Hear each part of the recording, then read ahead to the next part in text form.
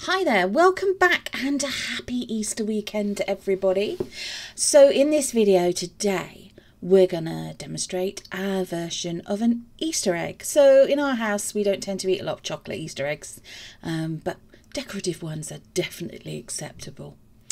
So Wayne's doing the demo today and he's going to use an egg-shaped silicone mould. He's going to use um, some of those mini stir sticks, a regular paintbrush, some isopropyl alcohol, some little uh, cups. You by all means don't you don't have to use plastic. You can use uh, uh, silicone ones and uh, some beautiful mica pigments. These are supplied in a kit that we got recently. Um, now, again, I no idea how you pronounce this name of this brand. Uh, I'm going to say it is, although that's probably not how you pronounce it. But everything we've used in today's video will be listed in the description box below with links and so on and so forth. So just putting a little bit of isopropyl alcohol in each of these little um, cups. Here we are. Obviously, I don't have to tell you, please be sensible. This is not drinking alcohol. This is um, alcohol that you would use to wipe down surfaces, uh, sometimes found in antibacterial hand gel, and so on and so forth. And obviously, it is the kind that you would put in an atomizer spray to spray over the surface of resin, which helps dissipate any bubbles. So there we go, we've divided that up. Now he's going to put in some of this beautiful violet coloured mica powder into the first one and mix it up. So there we are. We're just going to just checking how much he's measuring out. Uh, I would say that's probably about quarter of a teaspoon. Oh, yeah, quarter of a teaspoon. Popped it into the isopropyl alcohol and it mixes in really quickly. There we go. Becomes a solution. Oops, a little bit of spillage there.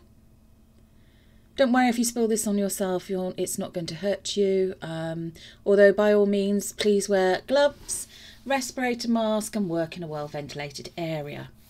So, there we go in with a beautiful green colour. Absolutely gorgeous, these colours. As I say, this is our interpretation of an Easter egg. there we are. And here we go with this beautiful, vibrant, reddish, looks reddish pink to me, um, but I think it is actually described as being a red. Yeah, again, that one stirs in very, very quickly. Not very much you'll notice uh, in the way of a solution, but that's all that's needed. And look at this gold.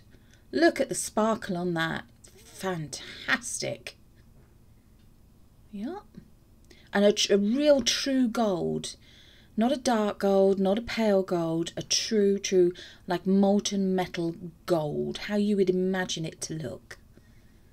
Oh, look at that. Look at the way that's shining and sparkling. Beautiful blue. Reminds me of the Greek islands, this does.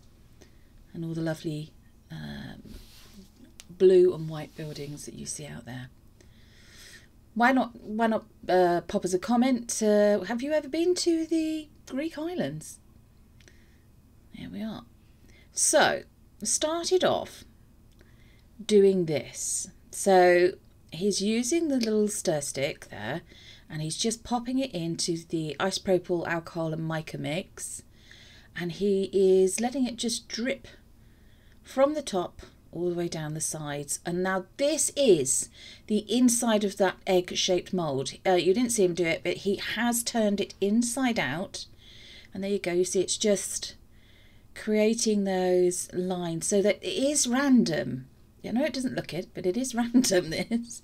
And doing again the same thing with the blue. There we are looking gorgeous and obviously it is going so in some places it's going uh, over the red uh, mica solution, alcohol mica, mica solution. In other places, not. But that's absolutely fine because I'm sure everybody knows that red and um, blue make purple. Purple being one of our favourite colours. There we go. Doesn't matter if it doesn't go exactly where you would like it to go. Um, it's going to do. This is pretty um, free flowing, free form, almost like an abstract uh, vision or version of an egg. Can anybody guess what kind of design Wayne is basing this project on? Why not pop your answer in the comments box? You never know. To me, at this point, it reminded me a bit of the old style hot air balloons that you would see illustrated in books and things. Um, what do you think?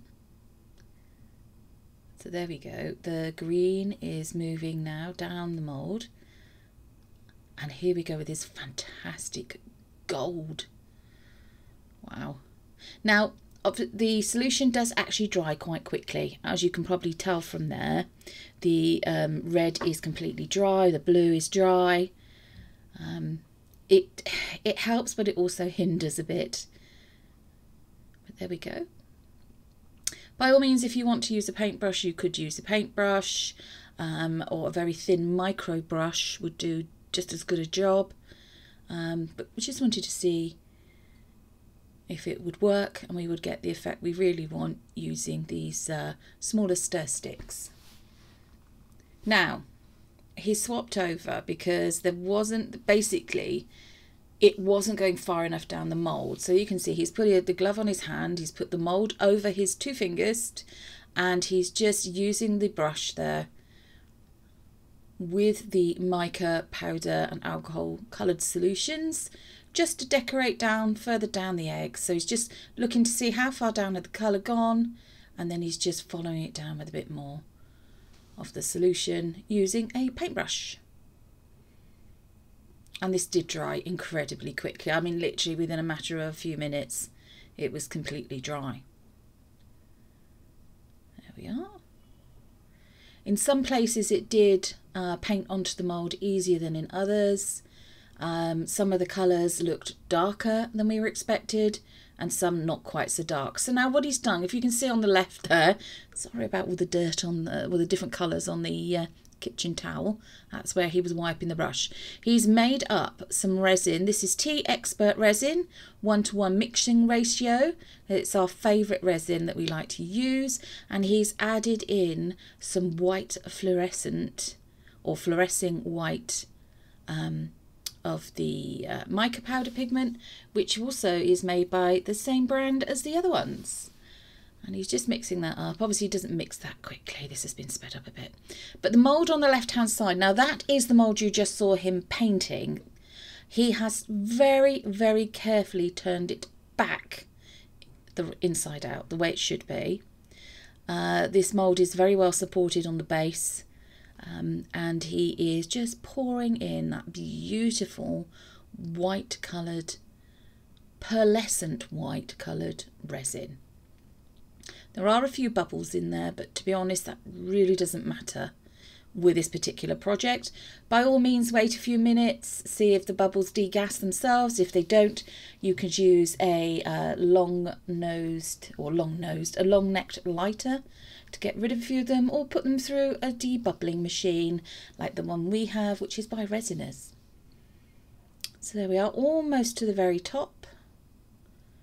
You're getting quite the close-up shot there of the container with the resin in. Sorry about that. So there you can see it's come to the top. Few little bubbles there. And it does take on the colours of, of the mica powders.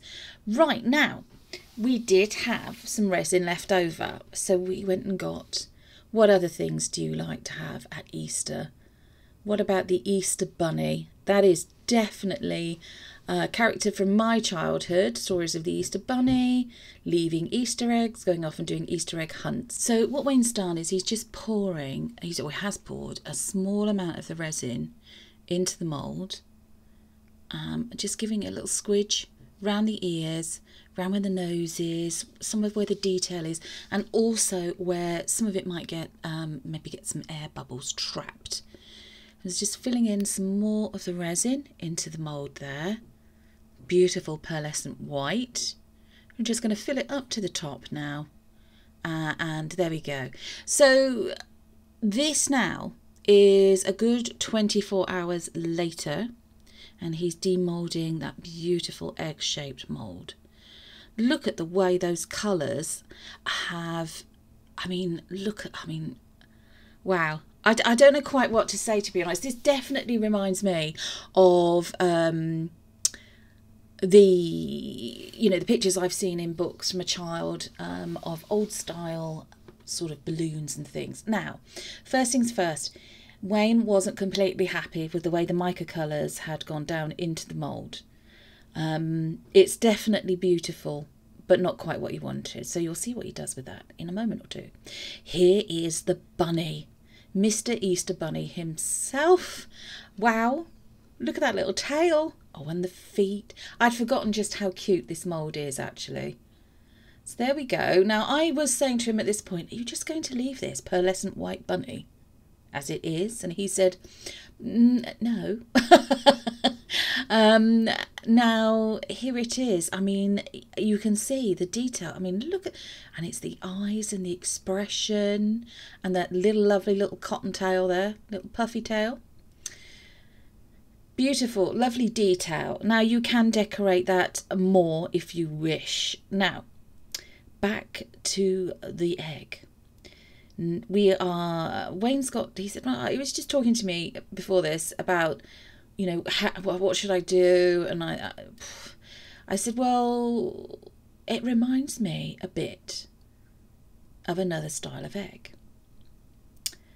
So, we got he got we've got these gold relief pens which you will have seen him use before. If you've seen a collaboration that we did earlier in the year uh, valentine's day collaboration where he used it to create a beautiful uh, picture of a single rose.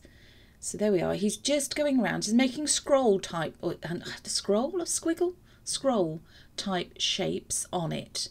And he continued to do that with the egg and he's done it all the way round um, now, yes, it's not as smooth as he would have liked, but it gives the effect, I think, and he does too, of a Fabergé style egg.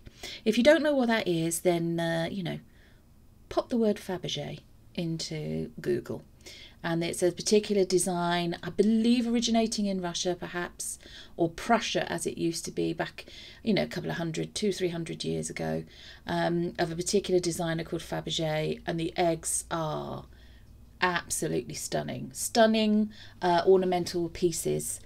Anyway, so he's applying these lovely little, um, they're like, like little crystals almost with a sticky back little sticky crystal rhinestones. And sorry, yes, this bit is sped up because it took a long while to do that. But he's going around and he's using what looks like an almost ombre style selection of colours there from gold to paler gold to more of an um, a, a browny bronzy colour gold. So he went all the way round on the egg, filling in the bits that he wasn't completely happy with. Uh, again, it's very difficult trying to be deliberately random with some things. Um, Wayne has a problem with that kind of design, but I think he managed this really, really well. I will say that the resin really did the job as well here. Uh, it cured beautifully. So here we are at the end of the video with the final shot. There's Mr. Bunny and he did come true and decorate it. It's got little gold ears, eyes, a little bit of rhinestone detail. And here is the egg. Look at it in all its glory. We have popped it on a little stand there on a velvet cushion. So uh, given it its right of place. Hope you've enjoyed this video. Happy Easter, uh, Easter weekend, everybody. And uh, thanks for tuning in, watching. Don't forget to like, share and subscribe. Take care. Goodbye.